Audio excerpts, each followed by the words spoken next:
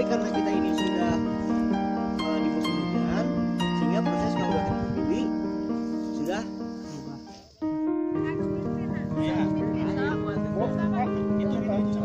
satu dua tiga SMK Barbora